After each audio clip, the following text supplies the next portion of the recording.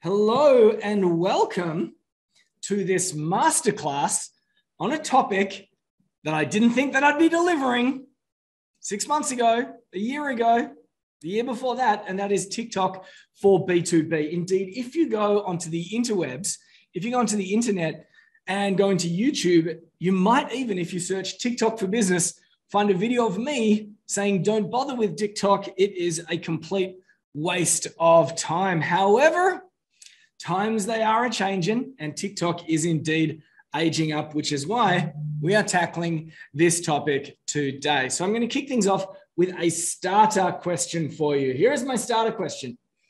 Are you already on TikTok? That's what I want to hear from you. And all you need to do is give me an acronym, a yes, as in a why. Yes, I'm doing it for fun. Just trying to turn my heater down. YB, yes, I'm doing it for my business. No, not on it. Not on TikTok at all, but people keep talking about it. So I thought I'd better turn up and figure out whether it's worth my time and attention. Now, let's have a look at some of your answers. Uh, we've got a no and then a yes. Rachel's got a YB. Uh, then I see a yes. Amy's got a YB. David's got a no. They've got a yes, no, Y, and YB. So Judd's doing it for fun, and he's also doing it for his business. Uh, Chris is doing it for fun. I got a no and a no. All right, well, it's an interesting group of people. So, what I want to do today is I want to be delivering this training in a way that if you are not on TikTok or if you are just using it for fun, you can make an informed decision about whether this is worth your time and attention. If you are all you already using it for your business, I hope that I can help you accelerate your commercial goals. All right, here's my next question for you. If you have not tried it so far, or if you have not started using it for your business, why? All right. And if you have started using it for your business, what's the hardest bit? If you have not tried it so far, why have you not tried it so far? If you have, what's the hardest bit?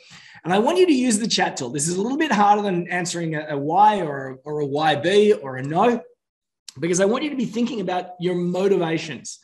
Um, these are head scratches. And we also always need to be asking ourselves these types of questions because these are self assessments. So Jade said, I'm camera shy, which is a fantastic first comment. I'm camera shy. Thank you so much. Andrew says it just seems like another SMM distraction and a big black hole. Yes, exactly how I have felt uh, for most of the time that TikTok has been part of our world. Uh, Nobby says I can't twerk. I, I can't either, but I have tried. Not on TikTok though, uh, just around the house. You know how it is. Uh, seems pretty lightweight. Yeah, says uh, says Graham. Uh, I'm self conscious, says Danny. Thank you so much. Uh, is it relevant for my target audience, says Veronica? That was my biggest hesitation. And if you look at the video that I posted on YouTube about two years ago, that was the main bit. And it was just my target audience that not on it. And um, the people that are on it are too young to be investing in themselves and their businesses.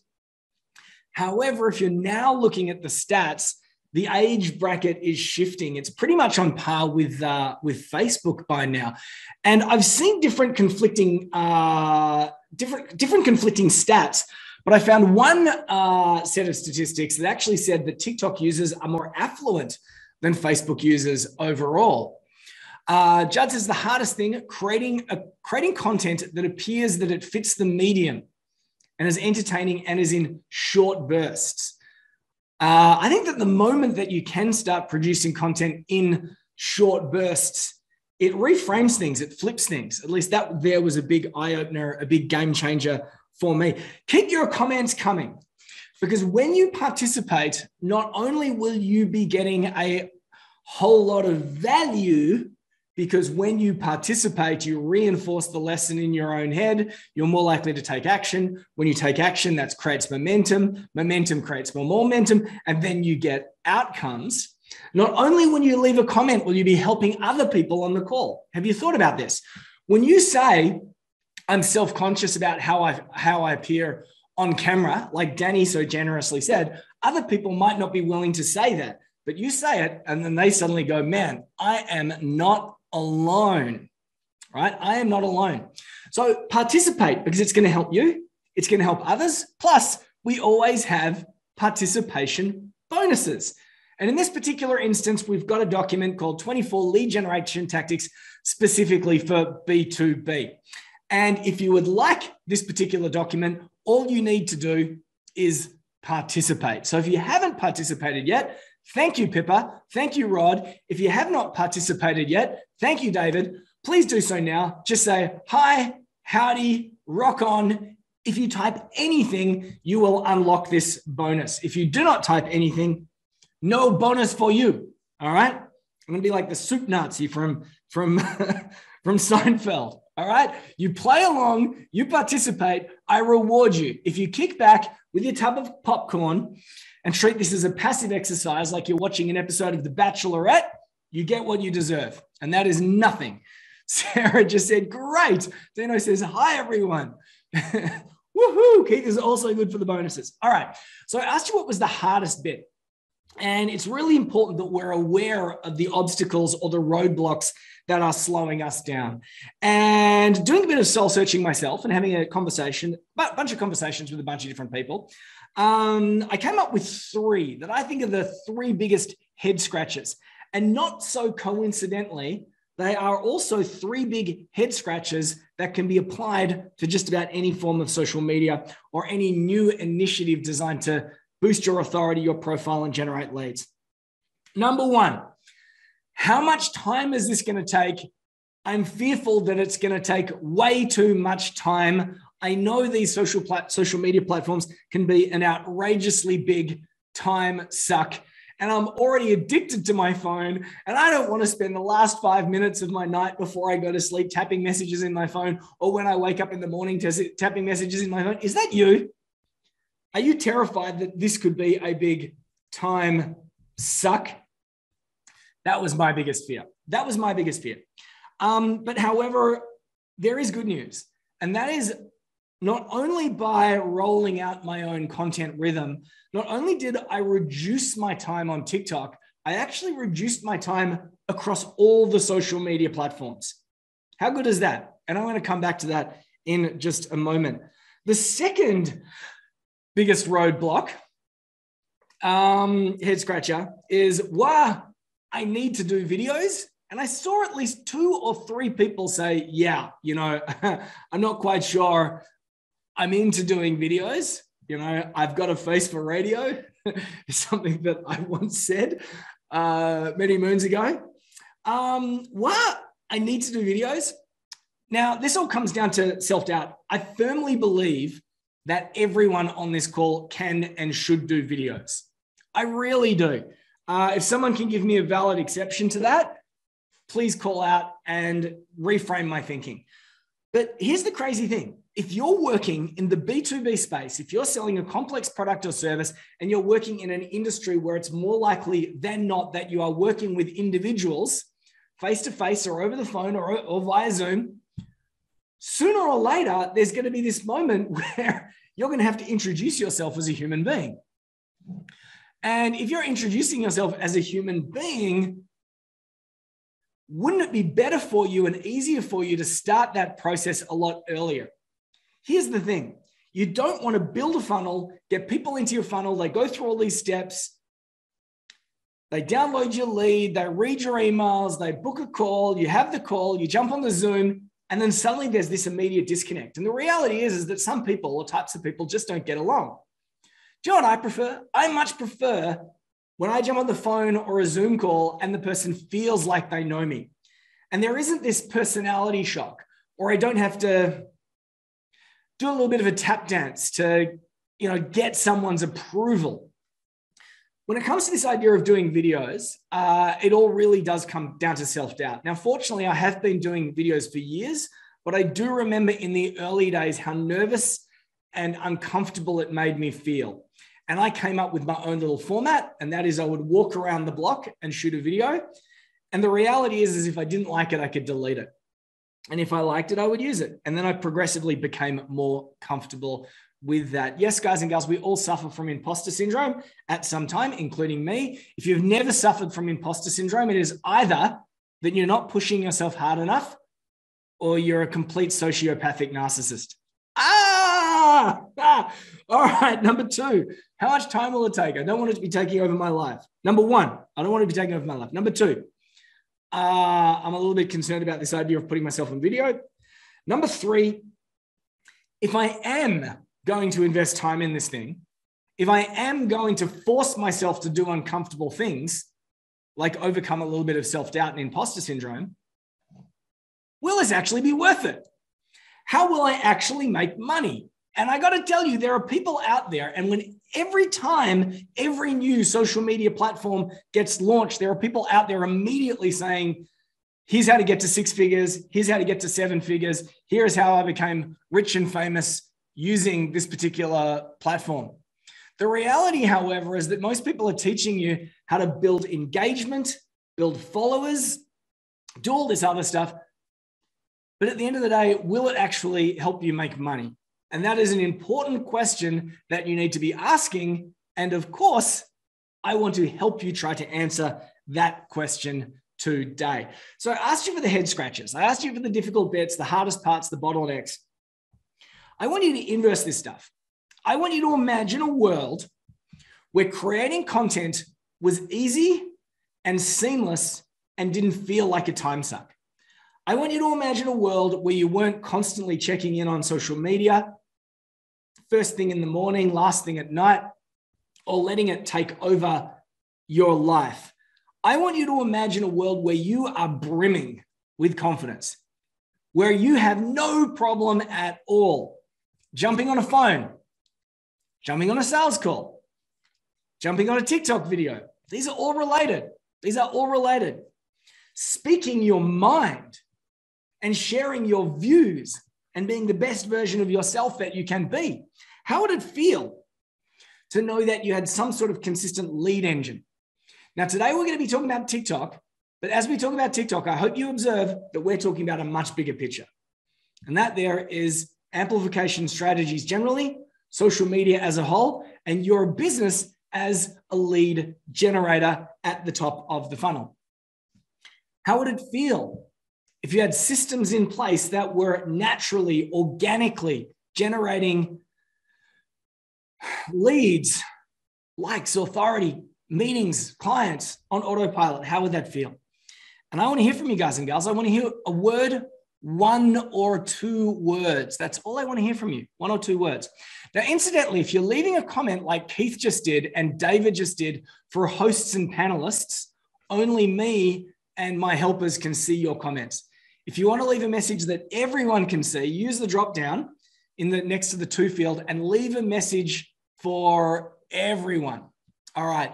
So, for example, Keith said, Your walking videos were really great, James. Thanks, Keith. David said, For me, videos are easy. My doubt is getting the videos, is getting the videos something that is TikTok interesting. Good feedback, David. Let's talk about that a little bit later. But for now, I want to know how would you feel? How would you feel if you were generating leads, authority, largely on autopilot? How would you feel if you're able to conquer those fears and come across as someone with enormous amounts of justifiable confidence? How would you feel if suddenly you looked back and you went, wow, I only spent this little bit amount of time this week on social media instead of this amount of time? Give me one word, two words. Uh, Kylie says, uh, I would feel successful. That's awesome. Uh, that would be great, says Pippa. Cracker, says Marcus, who's just arrived as pumped, says Graham. Amazing, says Amy. These are all really good things. For me, here's what I want to give you. Uh, every week, we have a group mentoring call in our world that we run for our B2B Blazers, who are our private members, and people that have recently signed up for a training program like the recipe or the pointy end or 16 VIPs. And every week, we have a group mentoring call where we cover marketing, sales, tech and scale. And then the fourth week, we have an open day. And guys and gals, you're part of this open day right now where we host a masterclass, invite other people in, and, uh, and address the bigger picture. But before we have these calls, we circulate an email with a little bit of a survey. And we ask a bunch of questions like, uh, Have you had any breakthroughs this week? Are you hitting any roadblocks? Are you stuck in any way? And not so long ago, a woman called Louise said, I finally feel like I have decision clarity. And I share this in most of my webinars these days. And that is because this was a powerful moment for me. I'm sure it was a powerful moment for Louise as well, too. But out of all the things that I can give you, out of all the things that I can give you, I think that the most important thing that I can give you is decision clarity. So, as I said, today we're talking about something called TikTok, which is one channel among many. Is it worth your time? Is it with worth your, your effort and attention? And for some people, by the end of this, you're going to be saying, no, I don't think it is. But however, as I run through this, I want you to observe layers within the layers because I'm not just teaching about TikTok today. I'm talking about social media as a whole and lead generation. Indeed, this is the bigger picture. If you're in the B2B space, this is the holy grail. You need to be able to attract opportunities. Then you need to pre qualify those opportunities. Then you need to book an appointment with those people. You need to elevate anticipation before that meeting so that they show up, they're all fired up. At that meeting, you need to do what you need to do to get them across the line, demonstrate your value, your expertise, how you're the solution to the problems that they might have. And you might get a, a firm yes and you take payment. You might get a tentative yes. You get a tentative yes, you've got to do the follow up, and then you need to close. At which point, people think that this is the end of sales and marketing in B2B. No, it's not. Then you need to onboard. You need to get your people to a place called first win or first value, and that is when they are truly sold. This, of course, is a funnel. And we have the top of the funnel, the middle of the funnel, and the bottom of the funnel. Tofu, Mofu, and Bofu. Take a photo, write that down. Today we're talking about tofu and a little bit of Mofu. All right.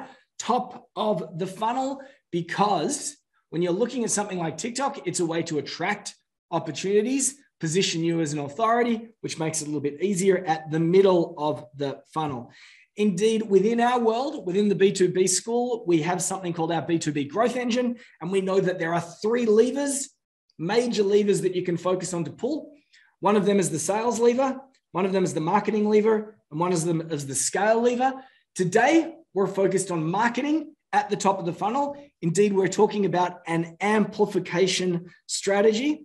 And if you're already part of our world, what you'll find is that most of our amplification strategies can be found within our training program called The Recipe. Indeed, if you're already part of our world, you'll be pleased to know that over coming weeks, we've got some exciting things happening. Today, we're talking about TikTok. Next month, for our open day, we're going to be talking about what are we talking about? We're going to be talking about proposals, pricing, and self closing offers. Proposals, pricing, and self closing offers. And the reason why we're doing that is that on this day, we're going to have a three day event, three big half days. We're going to be focusing on intelligent offers, proposal, pricing, and intelligent offers. If you're already part of our world and you're interested in going deeper, I'm going to suggest that you go to b2b-io. And there's a funny little message for you on our homepage right now. Cool. With that little bit of housekeeping out of the way, here is our agenda for today. What you see on the screen is my evergreen granny proof formula for social media. Now, when uh, Facebook appeared on the scene, we were among the first movers. We followed this particular formula and it paid off. Then it was the case with, uh, then it was the case with Twitter. Then it was the case with LinkedIn. I kind of missed the uh, I missed the boat when it came to came to Instagram, uh, and uh, now of course we're talking about TikTok. And it's a granny proof formula because basically I can share it with my mum, who by virtue of the fact is a grandmother because I have children. Let me get this right. I have children. She's my mum, so by default she's a she's a grandmother. And if she can get this, anyone can get it. It's a very simple formula. Maybe take a photo or write it down. Are you ready? Build, manage, monetize. On the bottom of the screen is Joe. Joe says, I've just experienced something I thought was never possible. A personal inquiry from a top CEO. LinkedIn is a game changer. I'm so grateful for your help. I'm finally feeling like I am the prize. Thank you, thank you, thank you. So, the formula that I'm about to run through, we have used to teach and guide our clients for many years on just about every single social media platform. I chose this particular testimonial because Joe says, I am feeling like I am the prize. They came to me. It's, a, it's been a limited time since I have started to use TikTok, but I am already beginning to experience those experiences. And anecdotally, I've already had a couple of people come to me and say, I've applied your strategies to my TikTok account.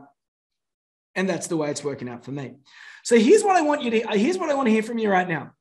All I want you to do is I want you to type out four words. This is a piece of future pacing.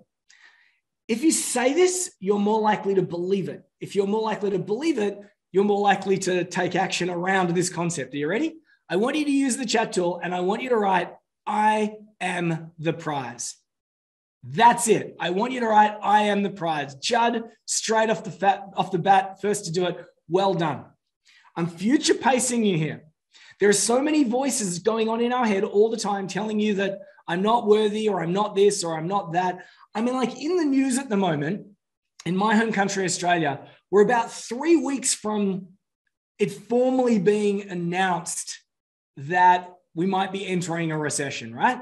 And the newspapers are going to go crazy. They're going to be going, recession this, recession that. And all the fear language is going to come up. And potential clients are going to try and use this as an opportunity to haggle and get discounts. And you're going to be second guessing what it is that you, that you need to do.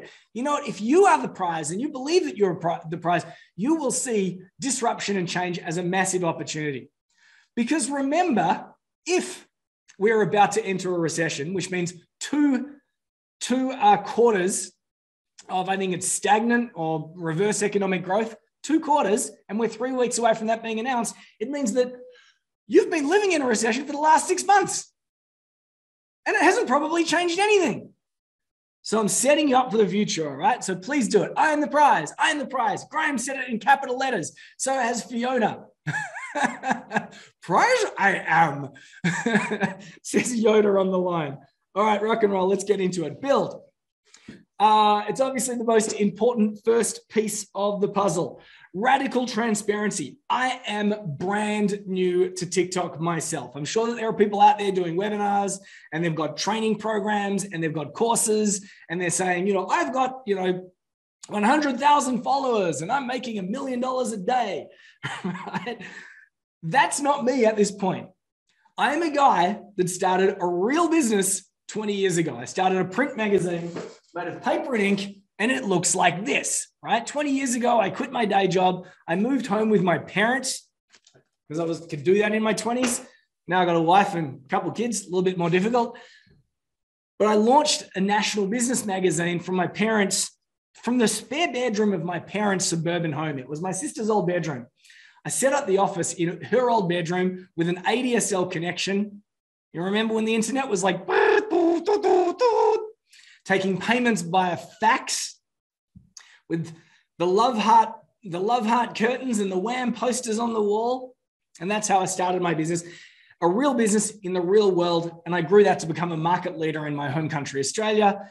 I was, uh, it was best magazine launch of the year when it launched in 2000. And, oh my goodness, how long ago was it? 2003 and I was named Best Small Publisher in Australia twice. So I've actually spent the last 20 years working with real people on real businesses, largely in the real world. And when it comes to social media, this ain't our first rodeo. So, a couple of things that I want you to observe here. Number one, at the time of filming this, I had 881 followers. Your first goal when using a platform like this is to get to 500 followers. That's the case if you're using Facebook and you want to start a group. It's the case if you're using LinkedIn and you want to hit the get to the get the 500 plus badge on your profile. There's this real and ever present phenomenon across just about all social media platforms. And I call it the social media valley of death. And that is because it's easy to get maybe 150 followers, maybe 200 if you push it. And then it kind of stagnates. and then people really struggle to hit 500. But when they hit 500, cool stuff starts to happen. So I've got to say, it took me four months to get to 500. Follow my advice, and it's going to get you there, and you're going to get there a whole lot further, faster. There were so many things that I was doing that were so dumb. It took me four months to get to 500. This uh, screen grab was taken about a week ago, and I've just passed a thousand. It took me four months to get to 500, and then an extra two weeks and three days to pass 1,000. Why is 1,000 important? Because when you hit 1,000, you can add a link to your bio that actually works. At this particular time, when I took this screen grab, the link did not work. The third thing that I want you to observe here is that these videos are generating 4,800, 5,400, 4,700 views.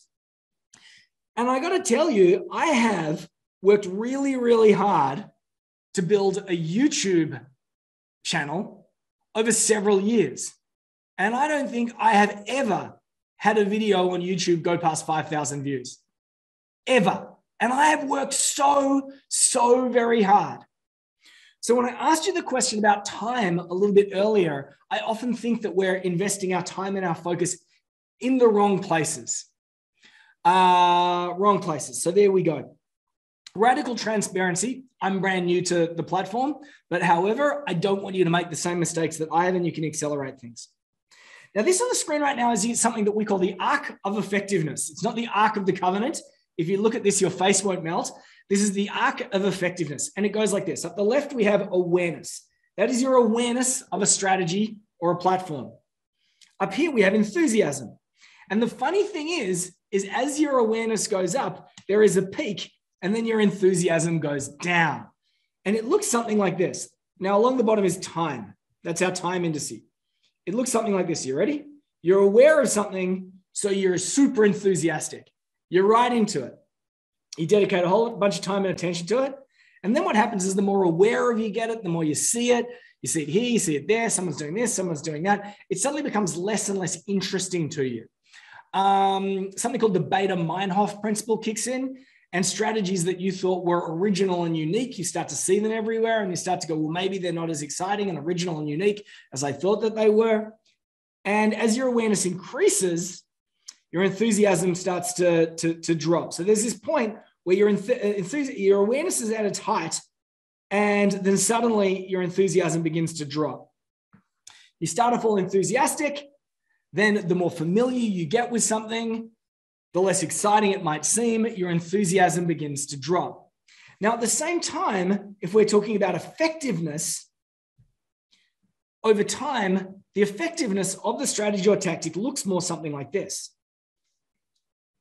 That's the effectiveness. And when I talk about effectiveness, I'm not just talking about fans and followers and likes. I'm talking about outcomes like leads and meetings and client relationships. It looks something like this. And the point of intersection happens around here, just at the moment when your enthusiasm is beginning to drop. That is just when it seems to happen. But we're so focused on all the little nitty gritty of things because our awareness has reached its peak that we sometimes forget why we're doing these things in the first place. And if you're using TikTok for B2B, you are using it as a business. This point of inflection is the 500 mark. If you can get yourself to the 500 mark, have followers, and think about that as your first goal, something wonderful happens at that particular point. The algorithm seems to take over, it seems to start generating fans and followers for you. And all you need to do is do what you do best, and that is be an authority, be a leader. And I'm going to give you my content rhythms in, in a little bit, just follow the, continue to follow the formula. And you can work through that particular space and that particular gap. The other interesting thing is, is at around that same time we hit 500, you've also bettered down your craft. And what do I mean by that? I mean that you're going to make some pretty dumb videos when you start to use any particular video based tool for the first time. Andrew says, Phew, I hate it when I look at something when my face melts. Me too. It's awful, particularly trying to get it all back together after it melts. So when it comes to building, here are, here are some of my strategies for you to help you get started when it comes to building. It all starts with your name, your bio, and a little game changer that I'm going to come back to. This should be really obvious, but it surprises me how it's not obvious for a lot of people. It all starts with your name, your bio, and a little bit of a game changer that I'm going to come back to. Guys and gals, we're about to play a game. Who wants to play a game? Give me a shout out. Say, I want to play a game, or I love playing games, or me. Because whenever I invite you to play a game, please participate because games reveal how you think in the real world. You're playing in the game world, it's a safe space. So you let your guard down, but it reveals how you play in the real world. Thanks, Yvonne. Thanks, Noel. Uh, awesome. Me, ready, ready, fire aim. Let's do this. All right. So down the left of the screen, you can see a bunch of names for a fictional business. And I've called this business Prism Athletica. I gave it this name because it's a stupid name. And I see lots of businesses creating stupid names for their businesses all the time. And I wish John Iglesias was on the call today, right now, because I'd be making fun of him. And that is because John Iglesias, my business partner, his first business was called Andromeda Media. I still don't know what that was about. but anyway, I've chosen to call this Prism Athletica. Now, Prism Athletica is actually a sporting goods business. So you could call it Prism Athletica, or you could call it Bob's Sporting Goods. Which do you think is a better name? That's the first game. Prism or Bob's? Which do you think is a better name for a business? And if you're feeling really courageous, tell me why. All right, cool. Now, underneath Prism Athletica and Bob's Sporting Goods, and yes, Bob's Sporting Goods is better because it says what it says what it is. In a, in, a, in a day and age where we've all got limited attention spans, we don't want to spend a billion dollars on brand equity marketing. You can see under that that I have another thing. We love baseball. All right, so I've got Bob's Sporting Goods. We love baseball. What could we love baseball be a good name for? Then we got Bob. I've called him Bob McGregor, and Bob is passionate about baseball, so he's called. Some people call him Bob Mr. Baseball McGregor. Now, if there is a Bob McGregor on the call, or if anyone knows a Bob McGregor, apologies. I, I made up this name from my head. All right, cool. All right. If Bob wanted to use LinkedIn, what should he call his LinkedIn profile? Should he call his linked profile Prism Athletica? Should he call it Bob Sporting Goods? What should Bob call his LinkedIn profile? Who wants to have a game? Thank you, Sarah. He should call it Bob McGregor. All right, can you see the game here? Can you see the game? We've got the name and we've got the forum. All right. Uh, if he's going to use LinkedIn, he should be called Bob McGregor. All right, this is a trick question. Where should Bob be using Prism Athletica? Should he be using that on his Facebook profile as the name of his Facebook group for LinkedIn, for YouTube, for his podcast, for Twitter, for TikTok? Where should he be using Prism Athletica? Thank you, Graham. Nowhere. It's a dumb name. I hate it. Unless you've got like the budget of Nike, right? Forget about it. All right. Bob's Sporting Goods. Where could Bob use Bob's, Bob's Sporting Goods? Now, by the way, there are no right or wrong answers here. I just want you to be thinking about this as it applies to you and your business. So, Bob's Sporting Goods, Facebook profile, Facebook group, LinkedIn, YouTube, podcast, Twitter, TikTok.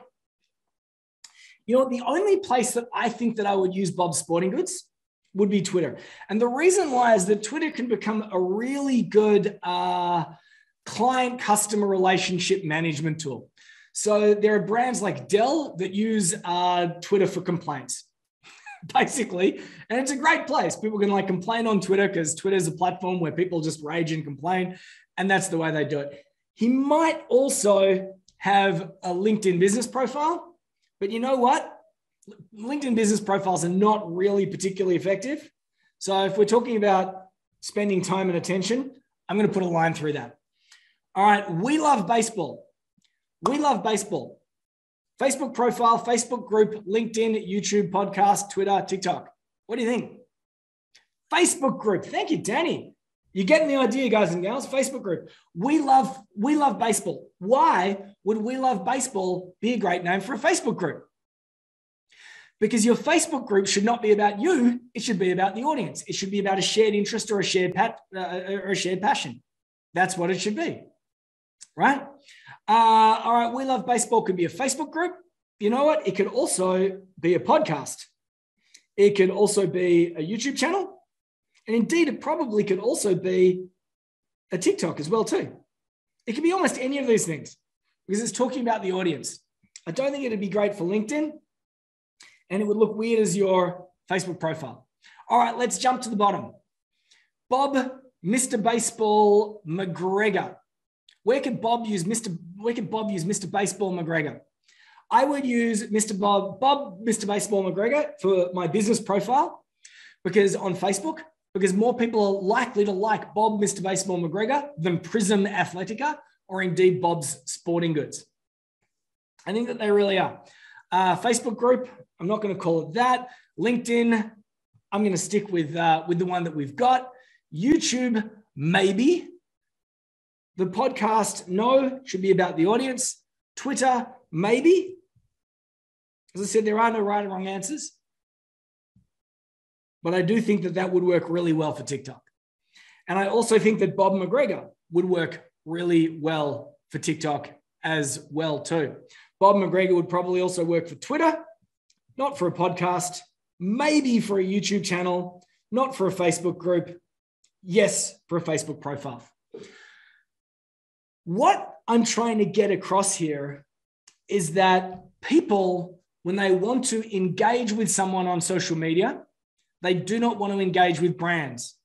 They want to engage with people and they want people to answer the question, what's in it for me? They don't want to deal with faceless, nameless brands. They want to deal with human beings. Uh, Mr. Baseball McGregor over here as well too. They don't want to deal with faceless human brands. If they're not dealing with a human being, they want to deal with something that represents their passions because you need to be always asking the question, answering the question, what's in it for me? So for me in my world, I've got one account, which is James Tuckerman, and I've got another one called Mr. B2B, and I ended up settling on Mr. B2B hyphen James Tuckerman. As I said, there are no right or wrong answers. All right, let's talk about your bio. On the screen right now, you can see the word one three times in a row one, one, one. I'm going to share something called our marketing monetization mantra. For some people on the call today, this is going to be the most valuable thing that I provide for you right now. Are you ready? The most valuable piece. With all of your marketing, I want you to be thinking about this one person, one problem, one product. One person, one problem, one product. This could be you want someone to opt in for your free gift. This could be you want someone to book a meeting with you. This could be you want someone to buy your product or service. This indeed could be your bio using a tool as simple as TikTok. Now, once again, today we're talking about TikTok, but I want you to be thinking about this across all your social media platforms. What you'll notice here is that on the right, I say consultant, agency, B2B. One person. You might have to squint, but that's what we got. Next, need leads, meetings, clients. One problem. And then I have a link to my product or indeed my call to action. The three P's are super powerful and super duper important if I was turning over less than $100,000 a year, I would be fixating on the three P's. I would be going, who is my target audience? What is the biggest problem that they have? And what product could I offer that specific target audience? That's what I'd be focusing on. One person, one problem, one product. Anything else that doesn't feed into that paradigm, into that particular framework, is going to be a distraction.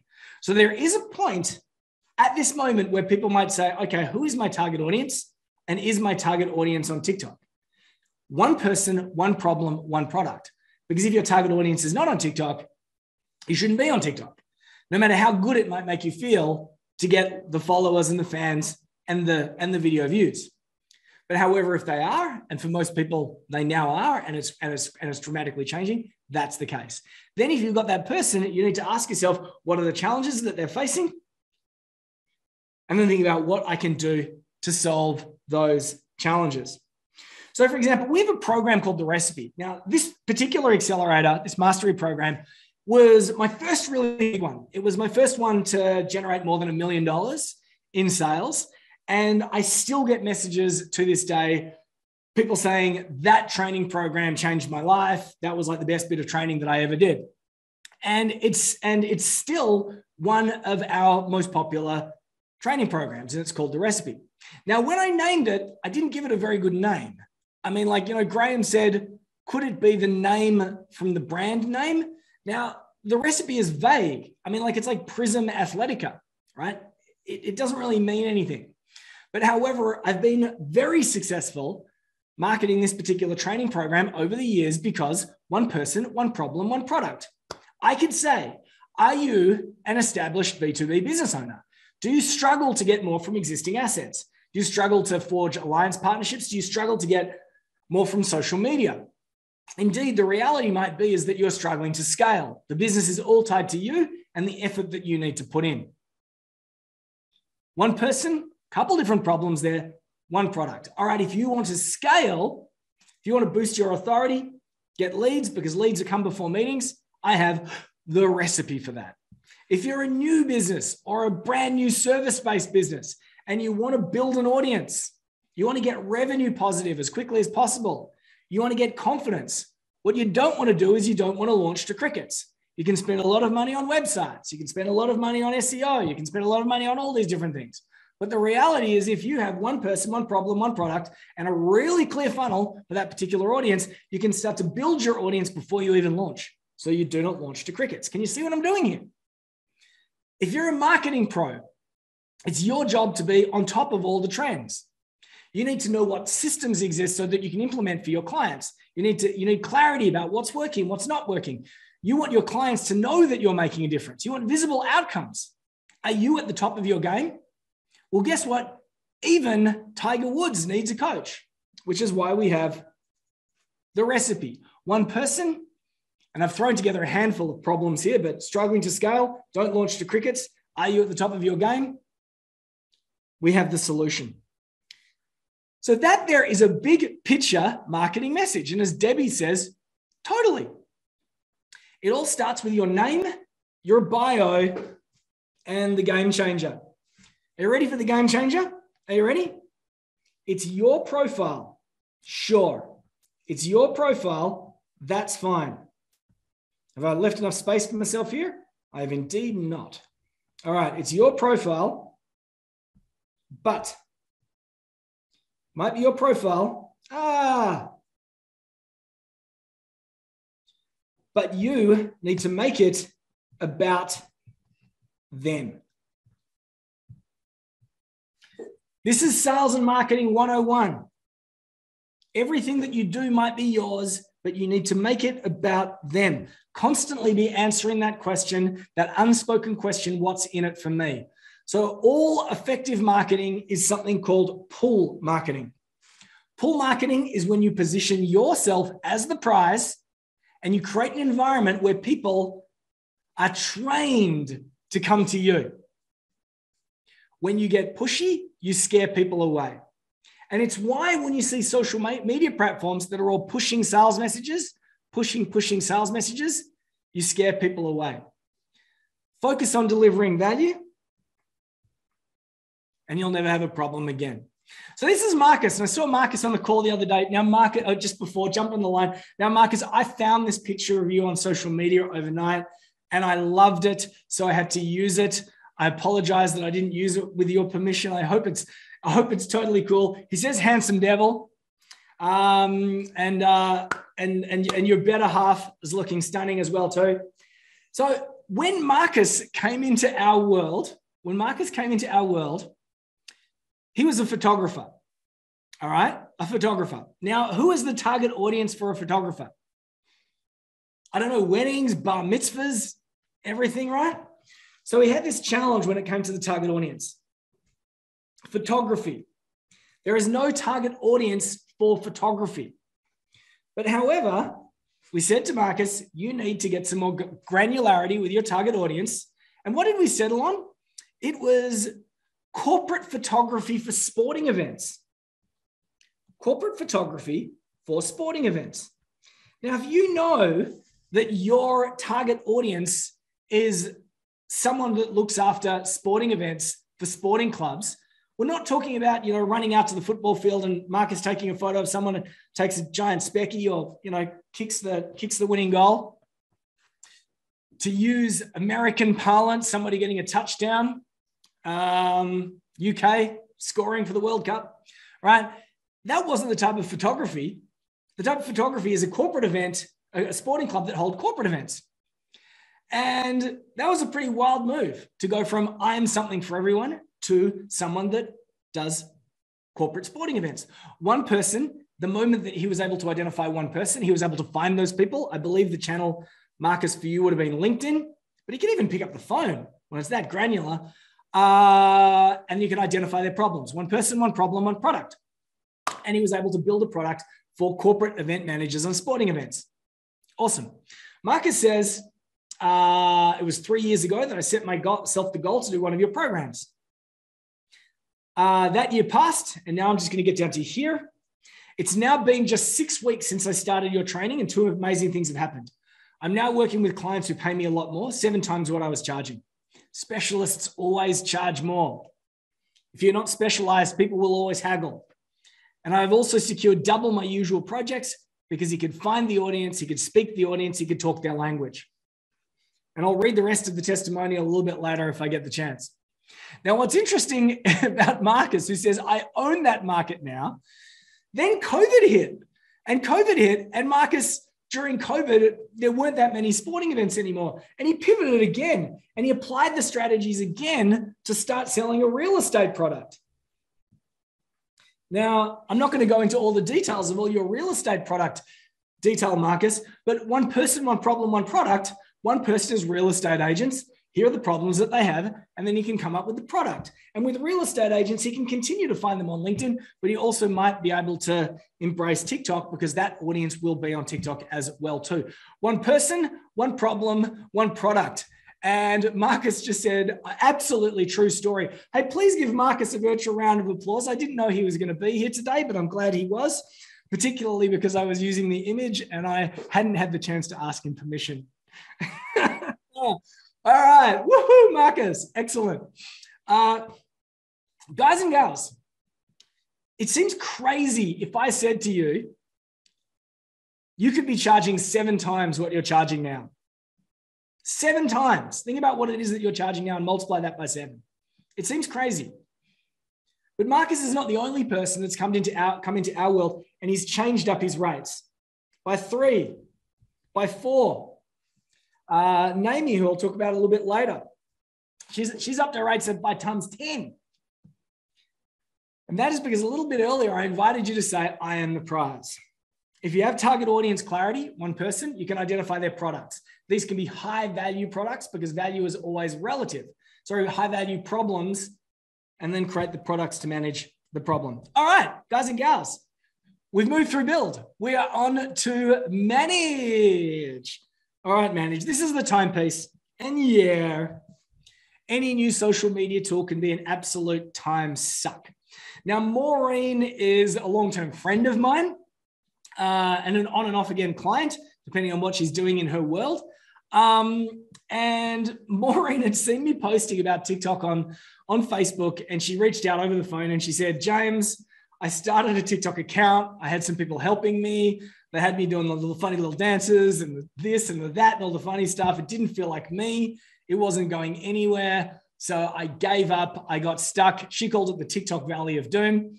And I said, Maureen, shoot me a little video, of which she did. And she just arrived in Bali. And uh, I think it's the second or third day in Bali. She just posted on TikTok just before she'd gone on her holiday to Bali in Indonesia. She says, I was stuck in the TikTok valley of doom following everyone's advice. I wasn't getting likes or followers or any traction. I'd just given up. I had a conversation with the legendary James Tuckerman just before I left for Bali. I've posted one video and it now has over 7,000 views. Amazing.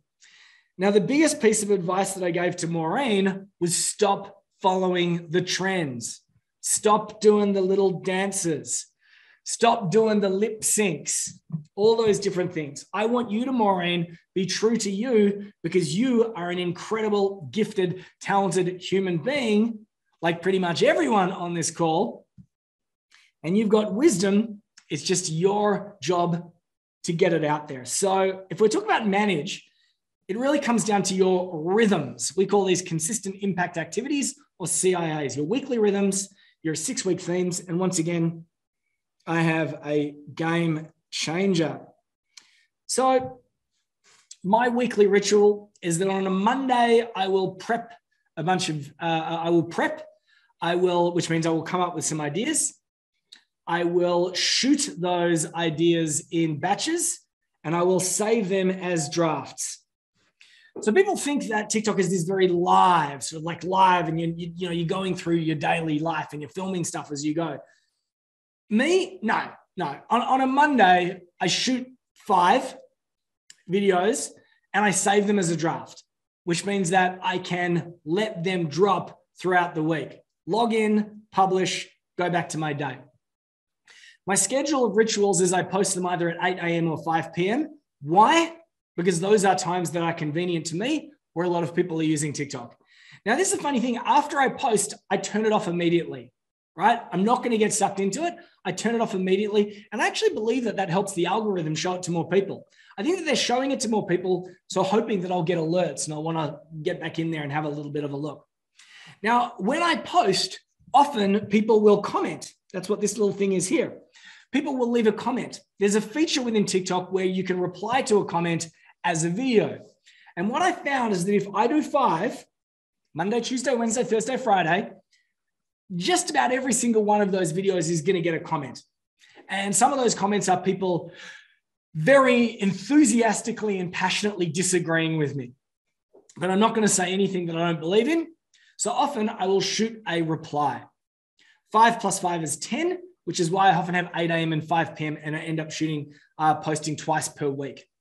Now, the reply strategy is a bit of a next level strategy, not for beginners because it makes you feel very uncomfortable and nervous.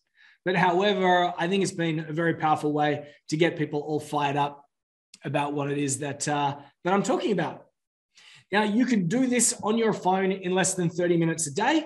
Me, I do it all in 90 minutes on a Monday. Now, as you might have guessed, I'm not only spending that 90 minutes doing TikTok, I'm spending that 90 minutes planning out my entire content rhythm for the week across all social media channels. Now, I highly recommend that if you haven't seen this before, take a photo of this right now. Whether you decide that TikTok is your tool of choice or not, this is a super powerful strategy. Are you ready? Monday, bust a myth. Tuesday, give a gift. Wednesday, share a story. Thursday, reveal a tactic. Friday, call to action. Now, the funny thing is that I could do this in as my email newsletter. And if you look at my emails, you'll notice that Monday I usually bust a myth. Tuesday, I usually give a gift. Wednesday, I tell a story, usually about one of our clients. Thursday, I reveal a short tactic. And Friday, I have a call to action. Have you noticed that? I could also apply this to my Facebook group. I haven't been as uh, efficient on my Facebook group as I should. But once again, Monday, bust a myth. Tuesday, give a gift. Wednesday, share a story. Thursday, reveal a tactic. Friday, call to action. Can you see a trend here? What about LinkedIn? Monday, bust a myth. Tuesday, give a gift. Wednesday, share a story. Thursday, reveal a tactic. Friday, call to action. Now, the crazy thing is, is that I used to do this backwards. I used to do my email and then I used to try and restructure my email for a Facebook group post and then try and structure it as a re LinkedIn post. And then I try and structure it, restructure it as a TikTok. Now I have a TikTok first strategy. I shoot my video, and the crazy thing is the email writes itself. The content can be the, uh, the, the written word uh, uh, you know, the uh, the transcription of my little TikTok can either go on Facebook or I can rewrite it. And the same deal again with LinkedIn. And in doing so, I'm producing five emails, five Facebook posts, five LinkedIn comments, and five TikToks. And I haven't even I haven't even begun to talk about Instagram yet and all the other channels. But the crazy thing for me is that the big revelation for me is that if I can do something in under 60 seconds in a TikTok video, I can do it everywhere. I can absolutely do it everywhere. Punch out where I bust a myth or I give a gift or I share a story or a real tactic. And I do that and bam, bam, bam, bam, bam, five times I've done it. Now, down the left of the screen, you can see themes. And that is because every week I will have a theme. And for me, I might start at the top of the funnel and I'll think about, you know, five things maybe six things that I could talk about at the top of the funnel. Or I might do top of funnel, middle of funnel, bottom of funnel, top of funnel, middle of funnel, bottom of funnel, top of funnel, middle of funnel, bottom of funnel. And I always have a theme for the week.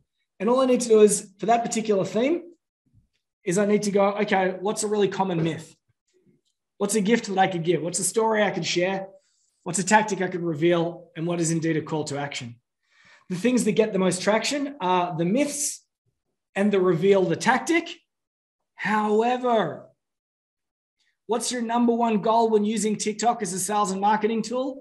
This is your number one goal if you're using any social media platform as a business tool. I want you to tell me, I want you to type it. It's even written on the screen. What's your number one goal when using any social media platform as a social media marketing tool? That's right. Get them off social media. Get them off social media. Have a call to action, says Jed. Get them off. That's your first goal, and it is your end goal. Now, someone said, Is there a uh, Noel, is there a logic to this order? Why not give a tactic before the gift? You know what? I have switched it up. I've moved it around. But the funny thing is, is someone might enter our world over the weekend, as a lot of people do. And the first message that I get is I'm usually busting a myth. So the myth might, myth might be TikTok is for teenagers, right? And then people go, oh, yeah, it's not for teenagers, which means that when I present my gift, content rhythms for TikTok, people go, I want that. They don't go, why would I want that? You get me? So I might say, as a myth, you don't need a website. All you need is an off ramp, right? Now on Tuesday, I say, here is my off ramp framework. And you go, why would I need that? Because I've got to bust the myth first. Then I'm going to give the gift, and I'm going to reinforce it with the story. The story is an opportunity for me to demonstrate my expertise introduce myself. Thursday, I'm going to do that a little bit further. And then if they haven't responded to my gift on the Tuesday, I have some further call to action and they're like, right, I'm in. That's the way that it is going to work. So we have a weekly rhythm. And the weekly rhythm is what you can see on the screen, which is what I do in my 90 minutes on the Monday. And I have six weeks of themes. I highly recommend that you bed down your six weeks of themes because if you can get through six weeks of themes, you're more likely than not to get through the arc of effectiveness. You're about to get out the other side without your face melting off. All right, cool. So I said that there is a weekly rhythm, six weeks of themes, and my game changer. Now, before I hit my game changer, I want to hear from you guys and gals. Out of everything that I just said there, was there anything that came out as particularly useful to you? Or are there mistakes that you've been making that you might be now more likely to avoid? What I want to do is we as we near the 1 hour mark, I want you to reflect. Just take a moment to reflect and think about all the things we've been talking about so far. And maybe it was one simple message or one simple idea or one simple uh, tactic or strategy or bigger picture idea, I want you to type it out and I want you to tell me. I want you to tell me because this is going to be useful for you. It's going to be uh, it's going to be useful for me because I'm going to get to see what's going on in your brains. It's going to be useful for you because you're going to be reinforcing the message, and it's going to be useful for other people, other people because they might not have picked up the same message as you. And by doing that, you're going to help them out. Furthermore, I have another participation bonus. Yes, I have a participation bonus. Now, I offered this up in a webinar a couple of weeks ago. I hadn't actually prepared it. It is now done. It is now completed. The people that I promised this to a couple of weeks ago, you know who you are. You're going to get it. But if you want my nine ingredients for a self closing offer, you better pipe up now. And if you can't think of anything that I've said which resonated, just say, yeah, woohoo, I want it. Anything to get the self closing offers for B2B participation bonus. Let's have a look uh, at some of the things that you've said. Raymond said, get them off TikTok. Thank you very much. Now, Raymond will remember that in three months' time, in six months' time, in six years' time, and it will not have changed. Yvonne says, your content rhythms matrix. I hope it was very simple. And if you want to see examples, go to my TikTok profile and you'll see me doing it again and again. Jade, a process to create six weeks of things. Yeah. I'm going to make that six week theme building exercise a little bit easier in just a moment. Batching is the key, says Aaron, in my is the key, in my honest opinion. Absolutely. We don't want to take it, take it over your life uh, piped or piping up. That's what you're doing. Batching, the six week theme says, Rowie, hey, Rowie, thanks for joining in. Rowie just unlocked uh, the participation bonus. There are still people who have not participated. No bonus for you. All right, no bonus for you. Uh, all right, let's have a look. Uh, Judd not following trends, quite a con- contrarian consideration. Andrew says the content rhythm takes him longer than 90 minutes on a Monday. Glad you're doing it. It might take two hours, it might even take four hours. But the more you do it, it'll take less and less and less. All right, Tremaine, good to see you. All right, excellent. Busting the myths. This is terrific. Also, just to see some new names. Hi, Themba. Good to see you too. Bonus for me, please, he says. All right. So if you're struggling to come up with themes or things to talk about, I believe that it's very valuable to have a methodology in your business. And that is because I see far too many B2B business owners stepping into people's worlds and saying, I have lightning, I have magic, I offer transformation solutions, I open growth solutions. Work with me and I will transform your business. And people say, But what will you do? And they say, I will come into your business and you will pay me money and I'm going to transform things. It's not reassuring at all, guys and gals. The moment that you have a methodology, you become the creator of that methodology. It becomes a signature method that becomes all about you. And the other great thing about a methodology is that you can take your clients through a methodology consistently, which means that you can recruit other people to do what it is that you do. You might have magic, but you need to bottle that magic. Indeed, all magic is unbelievable until somebody puts it in a box and shows other people how to do it. So here's a little bit of a mapping framework for anyone that wants to pull together a methodology. Are you ready? You can do this in your own way. Draw three circles on a piece of paper. As I said, for some people, this is going to be a game changer. Then all you need to do is write down the three biggest headaches that your target audience have. Remember, one person, one problem, one product. Remember, I said that before? So I might turn around and I say uh, visibility. I'm feeling invisible. That's a headache, right? Okay. I might say, uh, not enough time. I never have enough time, right? That's another headache. Sad face, sad face. Uh, I'm not getting enough uh, leads. There's not enough opportunities coming into my world. Sad face. You can do this on your own, in your own way. Then the next thing that you do is you go, okay, well, if I needed to fix each one of these three things, what within my realm of knowledge is going to help me with that? So I might look at that and I go, well, I might be able to amplify you, amplification strategies, right? That's a big one.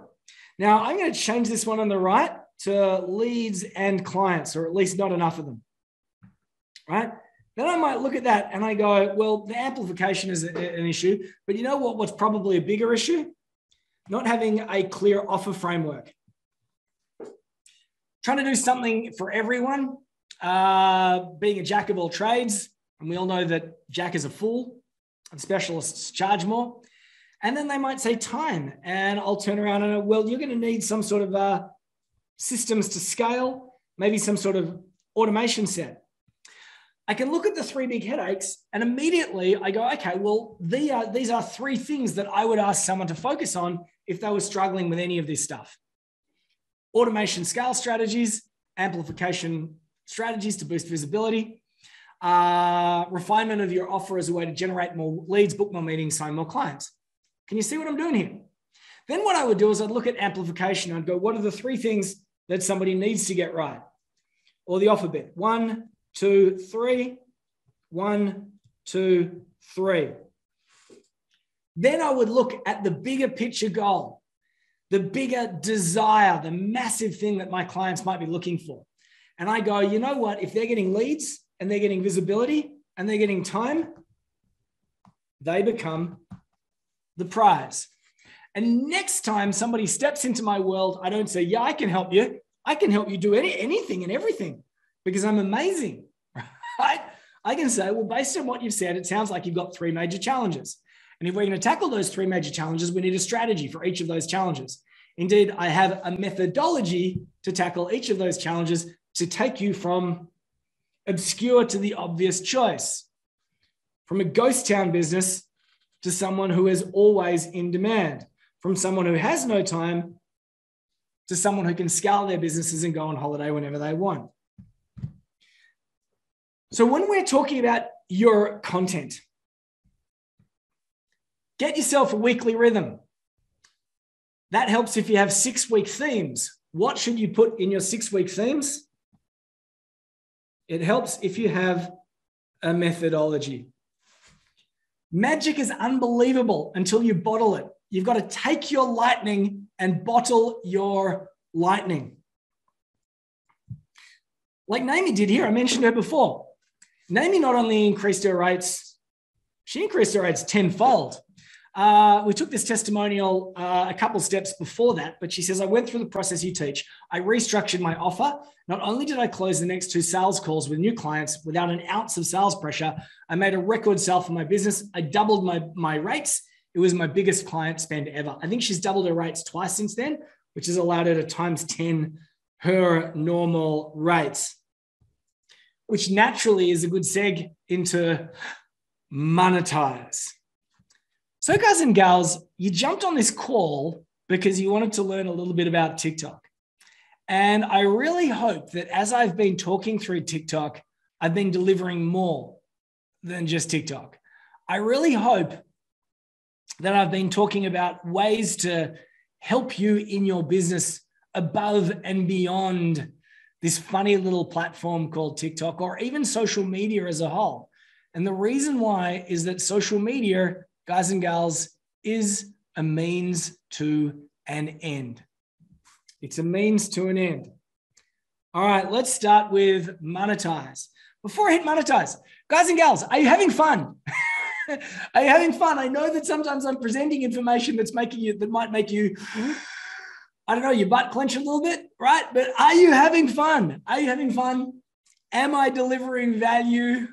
Uh, Neil says you deliver as always. Yes, yes, thumbs up. Great. Great to hear from you. Excellent. Because this is the pointy end, yeah? Right? We've talked about building an audience and it's really about them, it's not about you. If you want to create content, it's great if you can pull together some sort of methodology and then just roll that out. Roll it out and you'll never run out of content. I swear you'll never run out of content. You'll start at the top of your methodology, you look at it, you go, This week I'm doing this theme, Next week, I'm going to do that theme. And then by the time you've worked through, let's have a look at this. By the time that you've worked through, let me choose another color one, two, three, four, five, six, seven, eight, nine. You're probably three months in and you can start again. Monetize.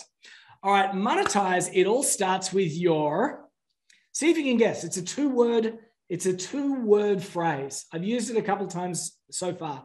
It all starts with your See if you can guess. All right, I got this uh, email from a woman called Kirsty uh, not so many days ago, seven or eight days ago.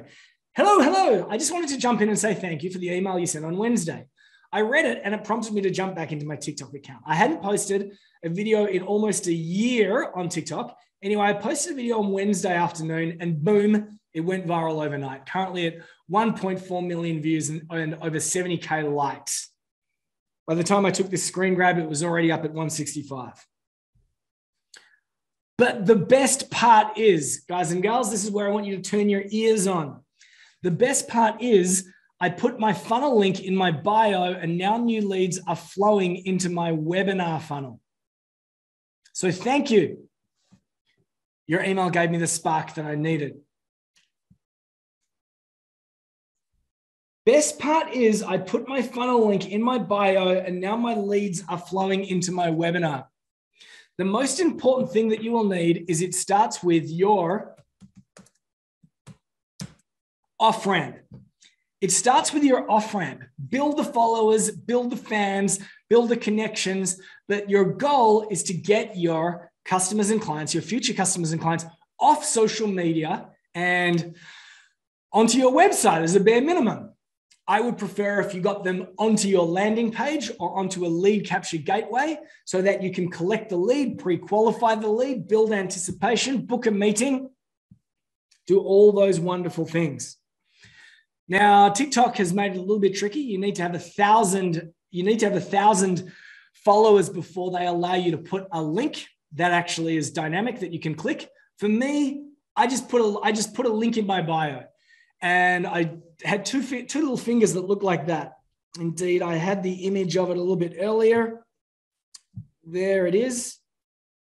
All right.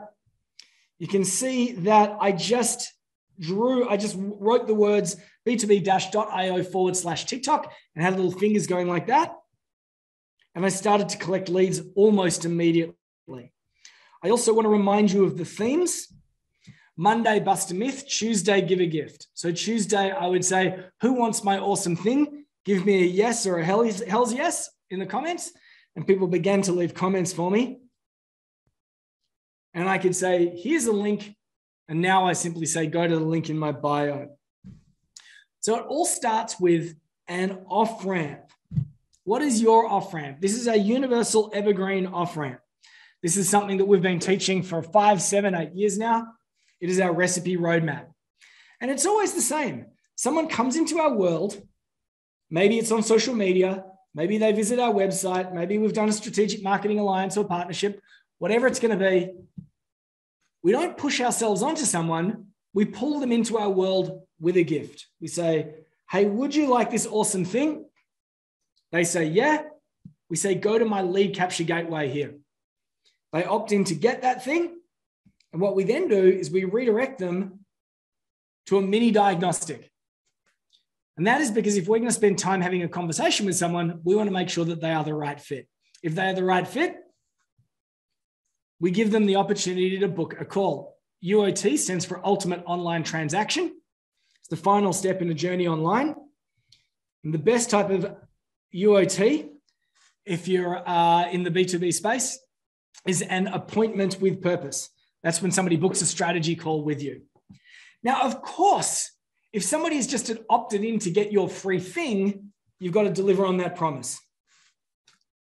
Send an email. Here's the thing I promised you. We also highly recommend that you introduce you and your story. We call that the welcome email followed by the offer. These are the three most important emails that you will ever send.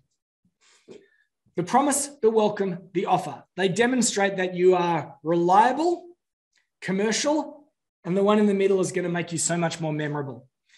And of course, it's really useful to have an email sequence if they have not booked a meeting because you get multiple bites of the cherry. So, according to the psychologists of the world, it takes seven points of contact for someone to really trust you and believe you, right? And really want to work with you. Now, imagine this for a second. You post something on a platform like TikTok or LinkedIn or something like that or Facebook. They go, Yeah, that sounds interesting and I want it. They go to the landing page and they give you a little bit of detail, maybe first name, last name, email address, maybe answer some questions. You redirect them to a diagnostic. that helps diagnose a problem for them. It's not a survey. Surveys take, take, take. The diagnostic gives. And we found that diagnostics can also be used to increase their desire to engage with you because a diagnostic indirectly highlights challenges that they might be facing. And then if they qualify, invite them to book a meeting with you. Three emails, one, two, three. How many steps is that? One, two, three, four, five, six, seven. Seven touches before you've even begun to engage.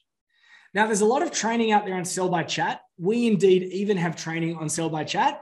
And Sell by Chat is a great way to open doors, start conversations, bring people into your world. And you can do Sell by Chat on TikTok, on Facebook, on LinkedIn, or whatever. But it's so much easier rather than trying to sell by chat if you can just say, hey, here's a free gift, and then let the funnel do its work for you. So, guys and gals, on the screen right now, you can see a really super simple case study. This was pulled together by a guy called John Weickard. And John Weickard applied this particular off, off, off ramp strategy using a tool called LinkedIn. Now, he said, I got 73 leads, 12 meetings booked, two sales of my core product, and I have two more decisions pending. I did that in two weeks. Now, we circulated an SMS sometime in the last 24, 48 hours. I can't quite remember basically saying on the webinar, we're going to reveal how John Weickard got 73 leads, 12 meetings books, two sales of my core product, and I have two more decisions pending. I did that in two weeks. Now, of course, you may have seen that and immediately gone, okay, how did he do that on TikTok? He didn't do it on TikTok, he did it via LinkedIn. But the lessons that I'm sharing today are so much bigger than TikTok. The power of having an off ramp is the difference between you being pushy, pushy and you pulling people into your world. So here's what he did he created a gift using a lead capture gateway, using a tool called b2b-io. And when he engaged with someone, he said, Here's the gift, register to get it. Now, when someone opted in to get his gift, he had another little online form which pre qualified. And then he pointed people to an appointment with purpose booking page. Now, the most important thing about this is not the technology. The most important piece about this is that John, when he came into our world, did not have target audience clarity. He had a vague idea about, about what he could do for clients. And as a serial entrepreneur that had uh, built a couple of startups of his own, he knew all the things to do, the mistakes to avoid. But he went out there with the, the vague as hell website. You've never seen anything more confusing. And I don't know how much he invested in that website, but a vague website, very confusing, no target audience clarity on that particular page, all talking about all these random things that he could do. He came into our world and we said, But John, one person, one problem, one product. Who would be your target audience? And he said, Startup product managers. Now, the moment that he was able to say startup product managers, clarity came the five steps to stop your product sabotaging your startup. And that became his gift. When someone opted in his gift, he had a little bit of a mini diagnostic. And then he invited people to book a power up strategy call where you could run through with him the top five causes of self sabotage. Very different to, hey, let's catch up and explore ways that I might be able to take your money. Yeah, very different. So he applied some of our LinkedIn strategies and he got 73 leads via LinkedIn. And I know a lot of people have a lot of trouble getting leads off LinkedIn. He got 73 leads, 12 meetings booked because they knew why they wanted to book the meeting, two sales of his core product, and he had two more decisions pending. Now, he did say, I did that in two weeks. He didn't do it in two weeks. He did it more like in six to eight weeks because it took him six weeks to get clarity around his target audience get the building blocks in place, assemble it all together, and then launch it, applying some of our social media strategies. And then he did that in two, he did that in two weeks. What's really is incredible is he started to get leads within about 24 to 48 hours. John, uh, Peter, did John use LinkedIn ads or generic posts and articles? He applied our LinkedIn hand raise post strategy where he was reaching out to first degree connections. Uh, and Peter if you look in our LinkedIn training, it's in part three. I can send you a link to that. but he did that in combination with some other things as well too. Rock and roll. All right. Guys and gals, it's the home straight. Well, no, it's one hour. Uh, no, it's not. It's home straight. Got 45 minutes. All right. Here, I've talked about things that you need to do. I've talked about things that you need to do build, manage, and monetize. But first, I want to talk about things that you should perhaps not do. All right. So I want to talk about the ways that you might mess up. I want to talk about the ways that you might mess up.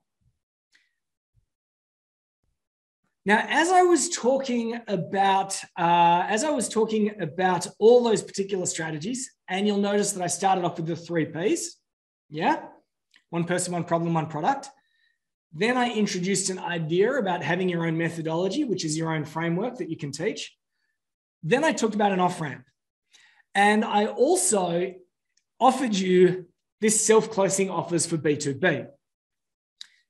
As we get deeper into this, as we get more layered, what you'll notice as I'm delivering strategies that I believe are so much bigger than the topic that we have. Now, here is a funny little thing that you might not yet have realized, but within your business, you are likely to have four offers. Four offers. So, once again, I've got a participation bonus on the screen right now. If you have not participated and you want this, I want you to be aware of this. You have four different offers in your business. Are you ready? You have an offer that you use to get the lead, and that offer is a gift. You also have an offer to get the meeting. We call our meetings appointments with purpose. And that is because most people have vague, you know, hey, let's catch up and explore ways that I can take your money. Or they have a discovery session. And no one wants to be discovered, right? They say have a breakthrough call. No one wants to be broken down and torn apart, right? But an appointment with purpose is when you say, would you like to book a um, I think uh, what was uh, what was uh, John Weickardt's a power up self sabotage call. In our world, we have a B2B offer mapping call or a B2B funnel mapping call. We have all those different things.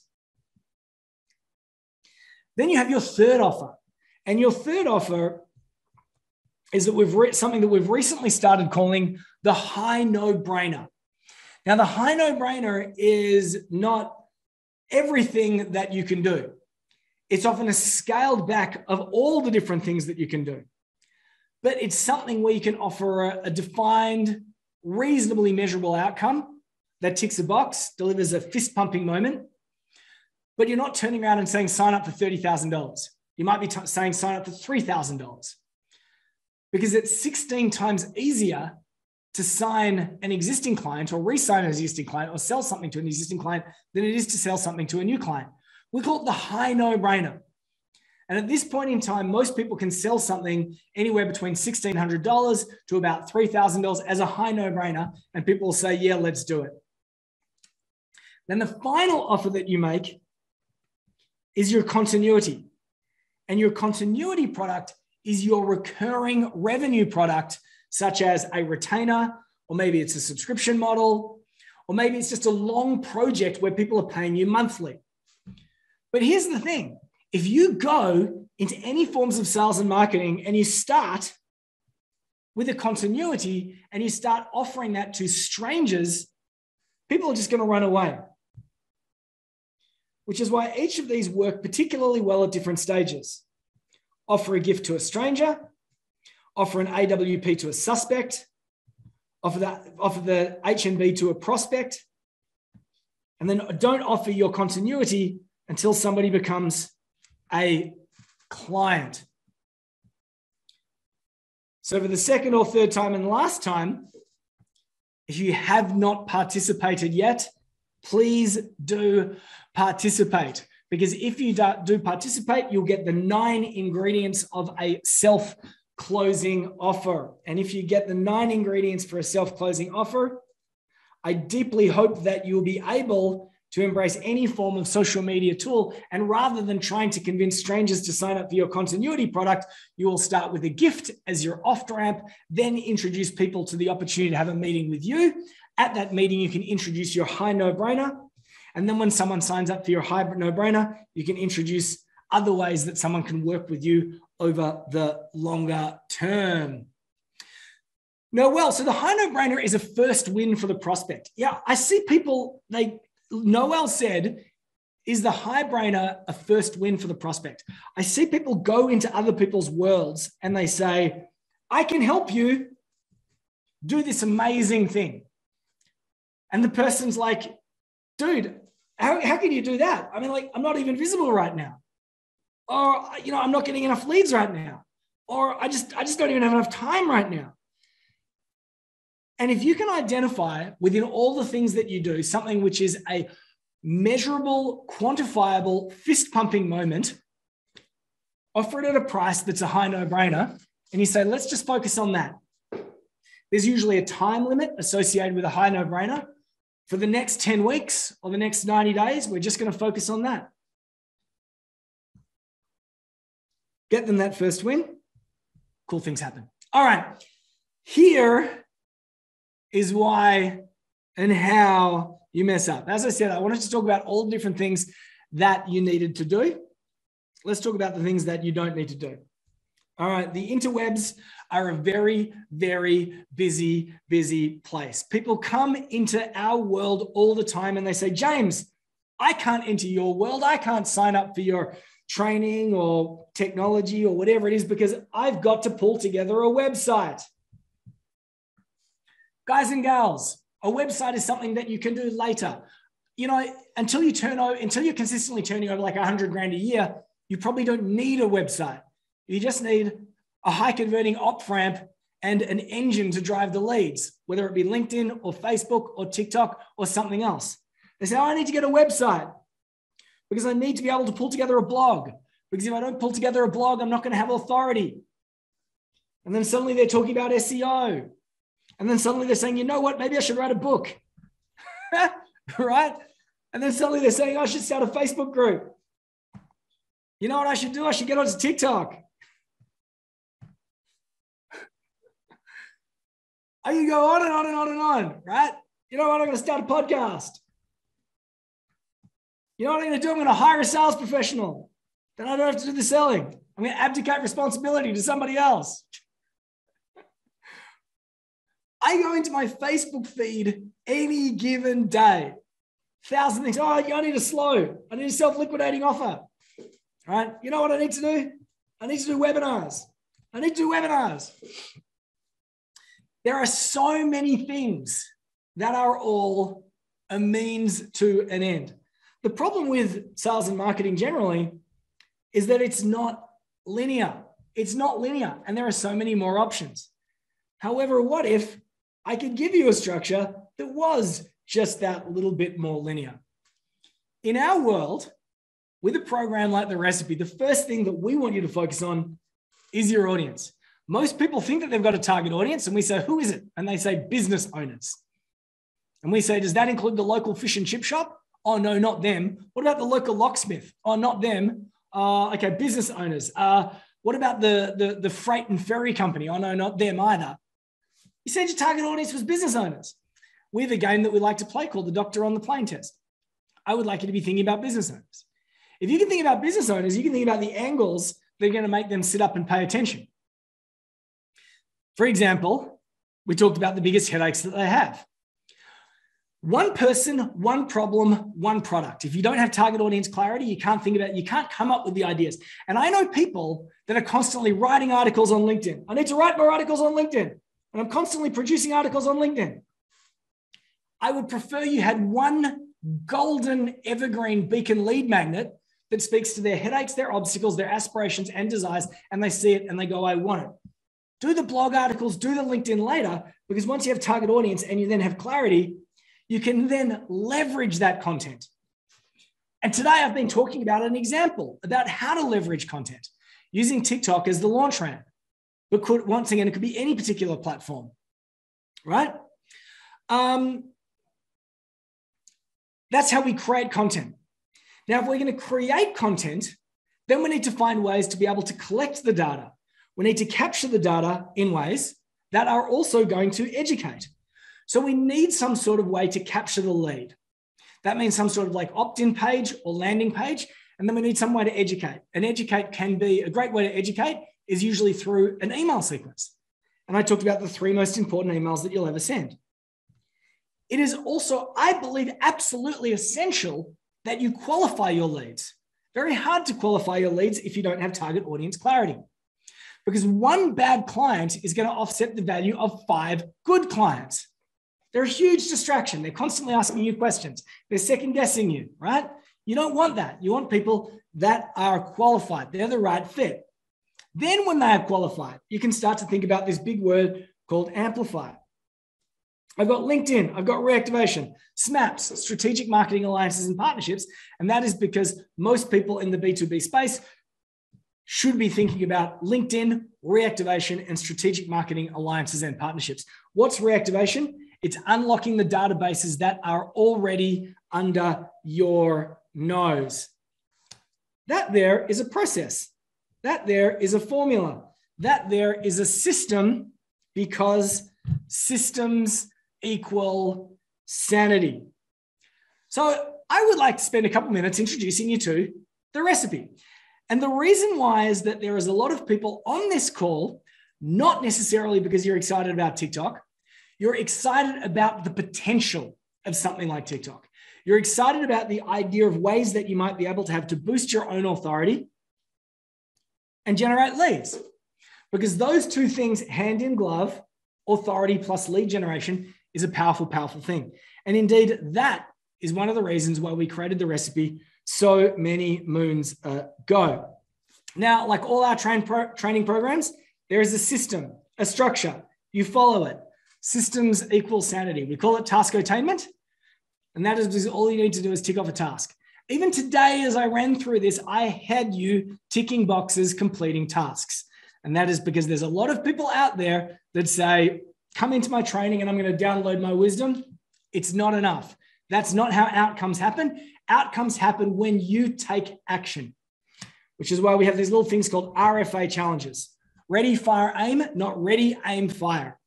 Take action, build a little bit of momentum, and momentum creates momentum. All you need to do is tick the boxes. I had this screen on the, I had this on the screen before. Who is this for? Now, if you're an established business, you know that the most important thing in your world is time. And time is a funny thing, it's compounding. Uh, the more time that you have, the more time that you can invest in your business to free up time. And the more systems that you have in your business, the more time that you have, and you can scale. The biggest challenge for the startups that I see is that they launch to crickets. Uh, they don't have clarity around the target audience. So they end up investing in a website, all these other things. Then they launch and crickets. And I tell you, I've been there. It's awful. One of the most awful feelings. Put in all this effort, all this time at launch, and then you get and then you get crickets. My recommendation for you would be to build your audience before you launch. If you can build an audience, you can even start testing ideas and get revenue positive before you launch. You can get confidence because you get runs on the board. And you don't launch to crickets. When you do get around to building your website, you have complete target audience clarity, which means that your target audience is about them and not you. It's your, it's your website, but make it about them. And it is weird when I talk to the marketing pros because they're kind of like, you know what? I should know this stuff. Why should I be going to someone else and investing in their, uh, their stuff because I'm an expert or I'm a coach or I'm a consultant? I think I said it before. The best in the best in the world always have a coach. Serena Williams has a coach. Tiger Woods has a coach. So we created the recipe many, many moons ago for three particular reasons. One, we found that a lot of B2B business owners were stuck on the outbound treadmill. They were chasing, chasing, chasing, and feeling kind of invisible. Now, guys and girls, wild idea, wild idea. Let's create a reason for future clients to voluntarily enter your world. Is that a good thing? Does that idea make sense to you? Let's create a reason for future clients to voluntarily enter your world rather than chase, chase, chase. Number two, B2B business owners in particular spend way too much time convincing rather than helping, which destroys their self esteem. Start by helping people before they have paid you money, maybe before you have even met, which is one of the reasons why I love social media. It's one of the reasons why I'm getting into TikTok. It's one of the reasons that I'm a huge fan of LinkedIn. It's one of the reasons why we have a Facebook group. But once again, very hard to help people. Well, it's not hard to help people. It's good to help people, but it's much easier, it's much better to help people and then have a way to get them off. Third, it's a bit awkward. Your attempts at lead generation stink because they are all about you and not about the headaches of the client. Can we re engineer? Can we reverse engineer your offer? Remember how I talked about most businesses have four offers? Let's come up with an offer that tackles the headache first. What are the headaches that they have before they know they need you? Let's give them a gift. Then, if they're suspicious, let's give them a meeting where we can help them get a little bit more clarity. Take them from A to B. Then let's introduce your high no brainer. Get them to a point of first win, as Noel said. Then we can introduce all the ways that we can make their lives beautiful and magic, which, if we said that to a stranger, they would tell you to take a hike. So, guys and girls, I often talk about little game changers. This is one here. You might want to take a photo or write this down on a piece of paper. What are the headaches of your future clients before they know they need you? What are the headaches of future clients before they know they need you? Answer that question and watch a bunch of cool things happen. So, as I said, we have this wonderful thing called our recipe program, and it's an accelerator and it's developed to deliver a couple different outcomes. Let's create a reason to get future clients to voluntarily enter your world. Let's start helping people so that we can boost your authority. Let's identify their headaches so that we can take them on a journey following a process or a formula. And not just that, let's have a whole lot of fun. Woo! Let's have a lot of fun. I mean, like, I mean, like, we get it. We got into our businesses in the first place because we wanted to be the captains of our own ship. We wanted autonomy. We wanted to be able to go on holidays whenever we wanted. You know, we wanted to be able to take long weekends and have days off. Now, for a lot of B2B business owners, that's not been the case, has it? because we get so bogged down. And then, of course, everything changes and it shifts and it changes and it shifts. What I want to tell you guys and gals might be shocking, might be shocking. But when I use the word fun, I am also talking about fundamentals. Have you noticed this today? Everything that I've been talking about has been about the fundamentals. And it doesn't matter whether TikTok is amazingly popular for six months, then goes the way of MySpace. If you have the fundamentals, you can pack your bags and you can move on to the next thing. It doesn't matter if you look at TikTok and you go, that's not right for me, but I am going to apply those strategies on LinkedIn. It does not matter.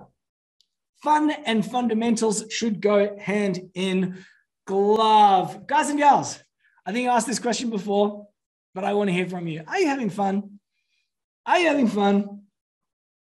Because what I'm going to do right now is I'm going to run through some of the outcomes that the recipe program was designed to deliver. There are people on this call that have signed up for the recipe. They are part of the recipe. There are other people that have signed up for other training programs of us in the past. There are people who are brand new to our world. But what I'm going to do is I'm going to introduce our accelerator, and it is indeed a product, which means that this is indeed a pitch. So now you have a choice. You have a choice. You can go make a cup of tea while I spend the next 10, 15 minutes doing this and then come back after I've done. But here's something that I want you to be aware of. And the people that are part of our world already know this. The most successful people in the world love a good pitch. And that's because the people who are already part of our world are probably going to be dissecting everything that I do over the next 10 minutes.